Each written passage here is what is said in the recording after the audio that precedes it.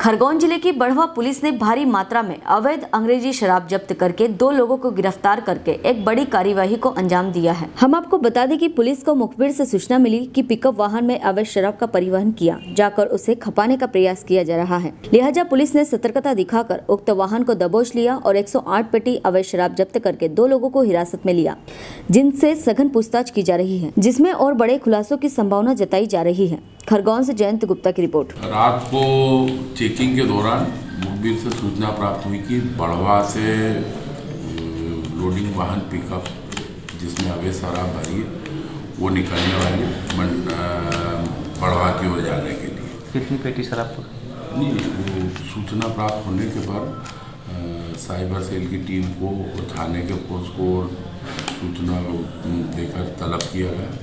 साथ में लेके कतरगांव वो, घाटे पे करें घाटे पे। वहाँ लाए वहाँ पे वाहन चेक वहाँ चेकिंग करने लगे तभी ये पिकअप वाहन वहाँ से बड़वा की ओर जाने के लिए निकला।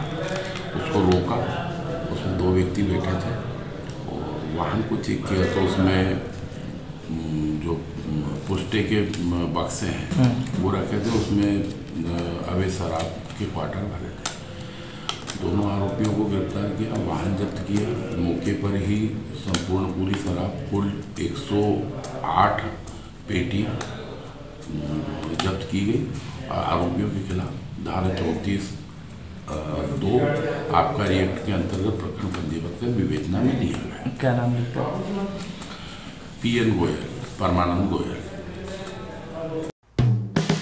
Hello friends आप देख रहे हैं हमारा channel S W twenty four news हमारे सारे वीडियो सबसे पहले देखने के लिए आप हमारे चैनल को सब्सक्राइब करें और पास में लगे बेल आइकन को दबाना बिल्कुल भी ना भूलें।